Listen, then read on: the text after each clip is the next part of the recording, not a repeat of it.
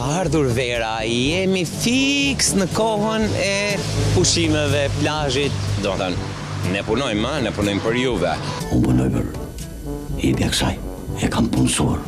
Ka ardhur momenti që duhet të shkojmë të pushojmë, por në Shqipëri sa është, domethënë sa janë kushtet, sa. Sa shfrytëzohet ky turizëm, në çfarë niveli është, a ia vlen apo jo? Sepse pretendojmë që neve duhet të jemi vendi që duhet të thithim shumë turizëm. Çfarë mendojnë njerëzit? Dalim pyesim një herë. Si mendon, çfarë gjendje është turizmi shqiptar? Duhet bërë më shumë? Jo, në nivele të mira nuk mund të themi. Për sivjet turizmi ka ra totalisht, sepse gjëja e parë është infrastruktura. Sepse gjithmonë rregullohen apo shkatërrohen gjërat që po flasim pa leje? Gjithmonë periudhën e turizmit, gjë që duhet bëhet në dimër dhe kur të vijë turisti duhet ta gjejë çdo gjë në rregull. Pastërtia. Çmimet janë të larta. Kushtet e tjera vlejnë po prapë për dëshiruar që duhet përmirësuar kushtet e hoteleve, shërbimi. Pastërtia dhe cilësia e ushqimeve. Ka shumë vende që ne na konkurrojnë me pjesën e çmimeve. Dhe, domethënë, është në disbalancë, po them, atë çka paguan me atë çka merr.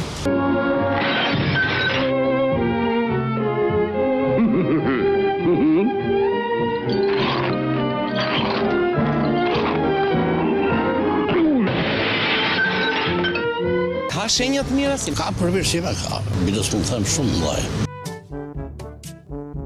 Ka shenja të mira, normalisht që ka shenja të mira, po që duhet akoma... Do, kuptohet që duhet më shumë. Që të tërheqesh turistat e huaj, do të jetë dhe çmime të ulëta dhe shërbimi i mirë. Që ja abuzime,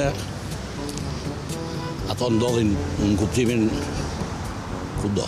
Por shumë, po dhe shme majnë dërmi, nga ne, një të lartë, dhjetë e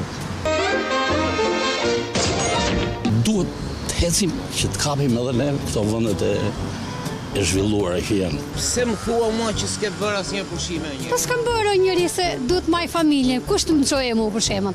Kush punojë? Asnjë ditë? Asnjë ditë. Ke dëgjuar që këtu ka edhe det, ka edhe liqene? Pse s'ka? Po ore. Po kush i shijon? Ne s'shijojmë gjë. Backing boy.